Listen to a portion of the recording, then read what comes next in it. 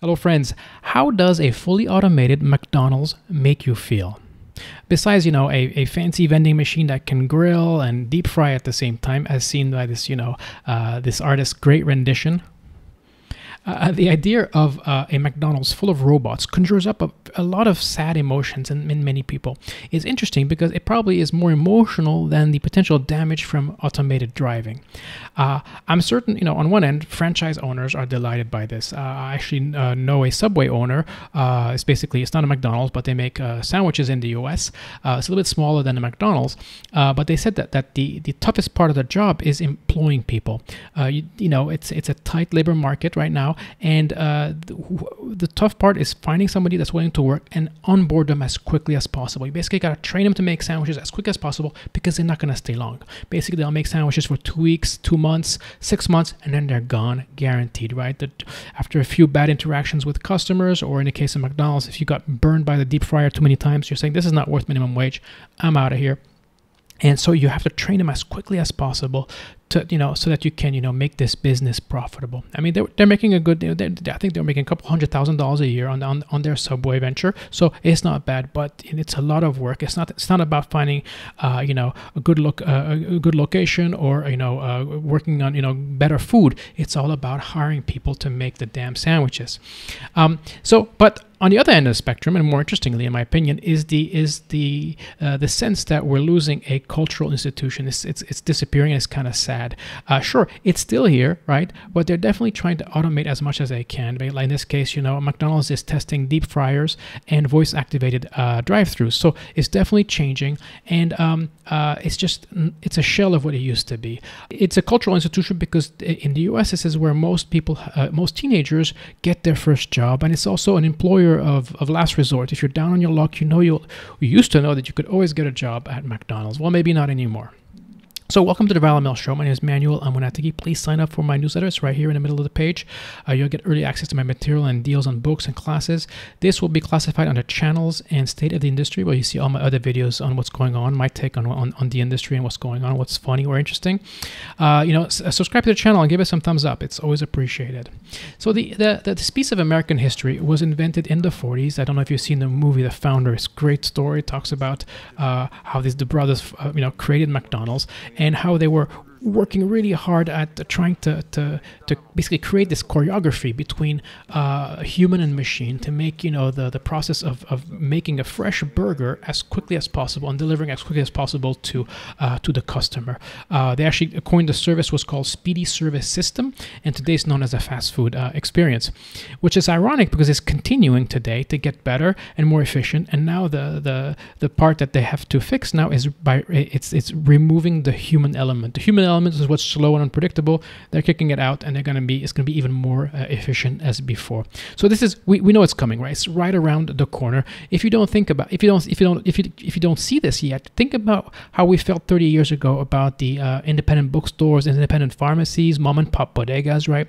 30 years ago, it's like oh they'll still be around, right? No, they're practically all gone now in the U.S., right? So this stuff is happening automation and cutting costs is happening and there's just no way of uh, around it. One commentator on one of these blogs was saying that uh, if they do automate um, you know all these all, all these businesses uh, uh they're going to basically uh, they, they, they, could destroy their main customer base. Uh, basically the, the teenagers and the low income workers are the ones who not only get jobs there but they also consume most of those products.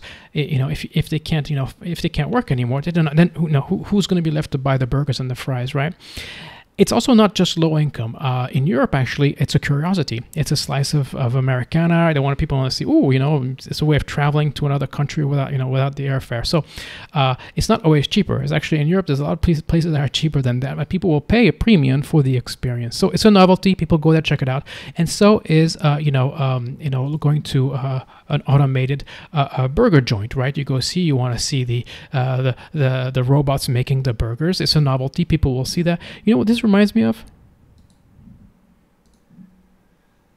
Right? It's a caterpillar. I'm not kidding.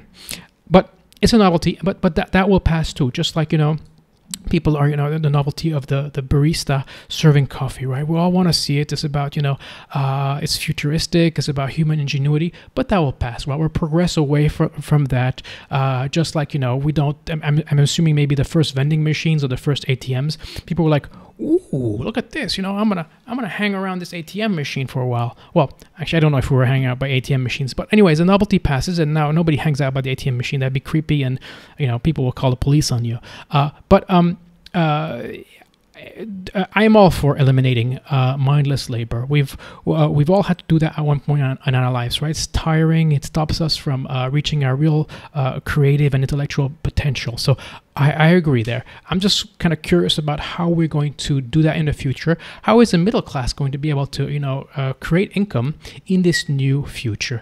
It, it just gets me a, a, bit worried. I mean, we're talking about people talking about UBI, universal basic income, uh, or I mean, or will, we be reduced to, you know, living, you know, the the the WALL-E lifestyle, basically just kind of sitting down, uh, you know, eating and and you know and gorging in, in cheap entertainment because that's all we can afford. That's all that's available.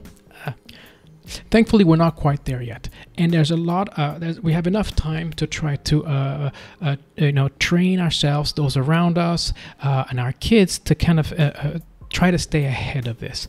It's critical to think about it, as you know, we're definitely at the, I think at the precipice of the of the of the end of manual repetitive labor of all types, whether white or blue, manual or intellectual, it's going to disappear. Right? A 2016 Pew Research uh, Center survey, the States of American Jobs, found that 87% of workers believe it will be essential for them to get training and develop new job skills throughout their work life in order to keep up with changes in the workplace. So, uh, you know, this, uh, you know, I don't want to make this too long, but let's talk about some some action items that we can all do.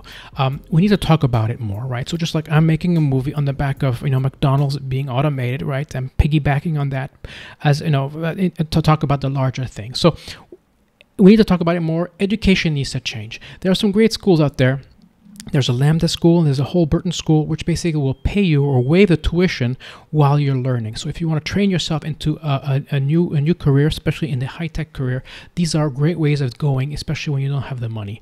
Um, we also need to you know make sure scale uh, uh, uh, like uh, mass education, MOOCs, uh, making sure that it scales better, that, that, and and it's it's respected by hiring entities. The two I recommend are you know Coursera, which I've taken plenty of classes, and Udacity as well. Especially Udacity. This is Sebastian Thrun a school where they really work. They partner with with with with you know very powerful companies, big companies, and they are respected by these companies. So you, you know you go through these programs, you will be able to find work, or you at least you'll get you know you'll be able to interview them, be interviewed by those companies.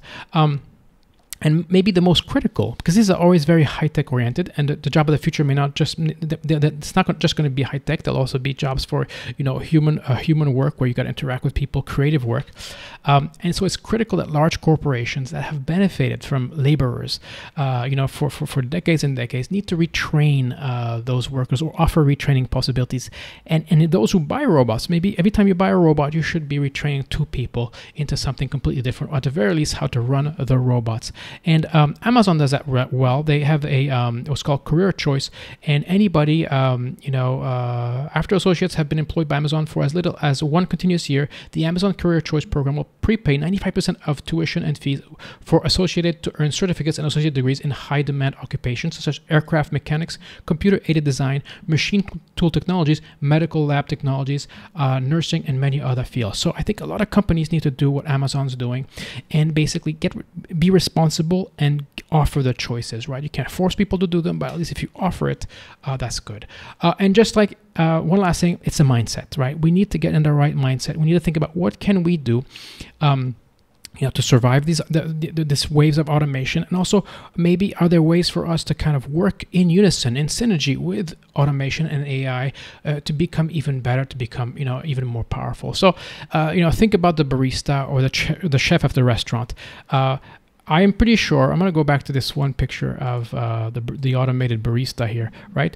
I, I love going to coffee shops. I love coffee. I can tell you, I'm not gonna hang out at a coffee shop that's run by a robot, right? That just feels like you're at a hospital. You feel like you're you're in a factory. I want one where I see the barista as an artist. I like to hear the noise of the coffee machine, the grinding of the coffee, the people talking and relaxing, right? So there's some jobs that are not going to disappear, where we're going to want to have that that human feel, uh, the creative jobs, the jobs where you want other humans around you, where you got to think, where you got to be, uh, you know, uh, inventive, where you got to react to things. Those jobs will always be here. So it's also a mindset, you know, uh, uh, and and we, if we keep thinking about it, we not only can find ways of making sure that you know we we survive this stuff, but also we can even do better. We can you know become more powerful. So at the end of my shows, I like to you know kind of plug my books. I want to talk about uh, income creating income streams. This is something that I've done for a very long time and I've really enjoyed it. Is doing classes on uh, Teachable on Udemy, and I still have some now. And in this book, I kind of talk about how I do them, why I do them, where I get my topic ideas. So if you're interested in this kind of stuff, I highly recommend. It's a great way uh, to do a semi-passive uh, side, uh, you know, side business. Uh, and you know, it's a lot of work up front, and then it's more just you know maintenance. And it's a great way of kind of you know uh, freeing up your time to think about other things. Uh, you can find my books, other books on Amazon. Simply put my first and last name in Amazon and in the search bar, and you'll find my books. And this is the one I'm talking about: create income streams with online classes, design class, design classes that generate long-term uh, revenue. So thanks for watching. Thumbs up, please.